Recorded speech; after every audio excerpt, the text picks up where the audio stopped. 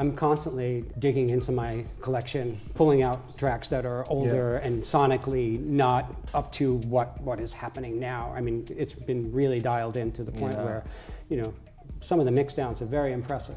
So yeah, I do go back and pull some tracks out from the early '90s that you know I'm, I'm bringing them in and trying to remaster them. There have been moments where you know I was playing a live set and I did something uh, with an acapella over you know maybe like an old techno track or something, Yeah, and yeah. I was like, oh, that was really cool, you know. And then I'll take it into my laptop and really dial it in and like Yeah. add that acapella over that track and sort of re-edit the track and sort of make my new you know own version out of it.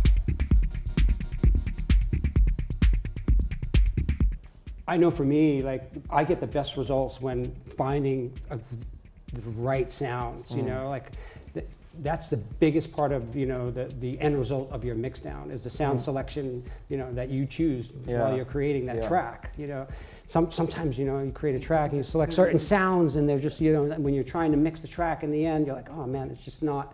And then you start changing your kick and you know Mm. replacing the bass because your original you know, sound that you selected is just not delivering that that that frequency Yeah. that you want.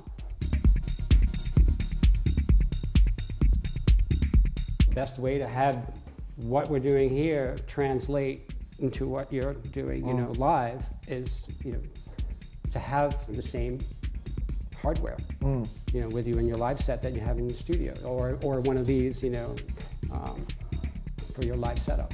Uh, Do you want to export the project that you Yeah. have? Then we load it into maybe check it with my uh, equalizers uh, to, to see how it will sound over there.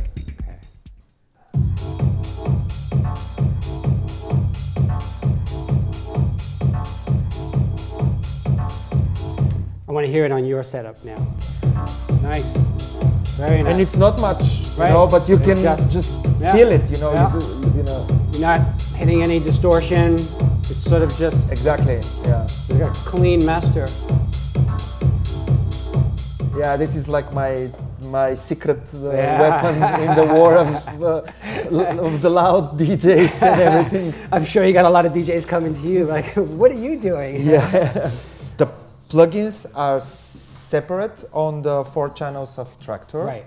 They're all the same. So you have them on each channel. Yeah, yeah. Okay.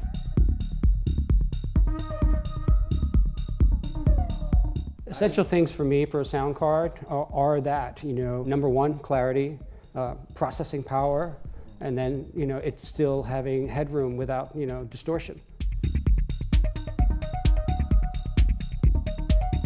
You sort of want to make a statement as, as you're coming on, you know, Yeah. to allow the people to know that you're, you're, Yeah. you're starting your set.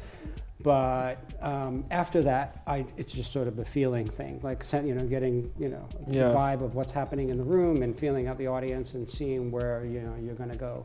Um, I don't like to overly prepare my sets. Yeah, yeah. me too. Me too. yeah.